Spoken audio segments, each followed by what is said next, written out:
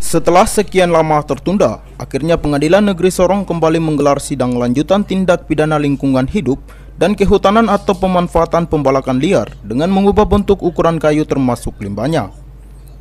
Proses persidangan dengan menghadirkan pimpinan CV Alko Timber Irian Henok Budi Setiawan alias Mingho dengan agenda pembacaan pledoi atau nota pembelaan terdakwa. Dalam pledoi tim penasehat hukum terdakwa menilai Tuntutan jaksa penuntut umum tidak sesuai fakta persidangan, di mana sebelumnya JPU menuntut Direktur CV Alko Timber Irian dengan hukuman penjara 9 tahun dan denda 2 miliar rupiah, subsidi 6 bulan penjara.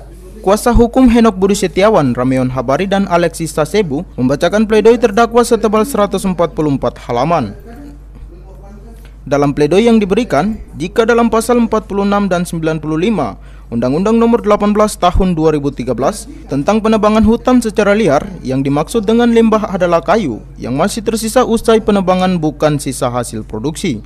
Pada bagian akhir kami minta supaya terdakwa ini dibebaskan dari segala tuntutan, dakwaan dan tuntutan karena apa yang didakwakan itu tidak ada dalam eh tidak terbukti secara sah dan meyakinkan menurut keyakinan kami.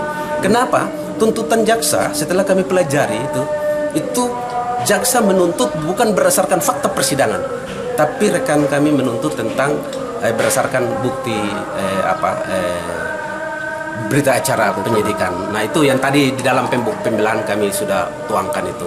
Jadi intinya bahwa kami minta memang minta supaya dia dibebaskan karena kesian dia tidak melakukan itu karena inti dari pembalakan liar, inti dari Undang-Undang 18 pembalakan liar itu itu orang tidak punya izin ini kami sudah ajukan izin, izin lengkap. Apalagi yang diminta? Izin semua lengkap. Ini... Penasehat hukum diminta agar kliennya dibebaskan dari segala tuntutan dan semua barang bukti akan dikembalikan. Pengadilan juga meminta untuk memulihkan nama baik terdakwa Henok Budi Setiawan.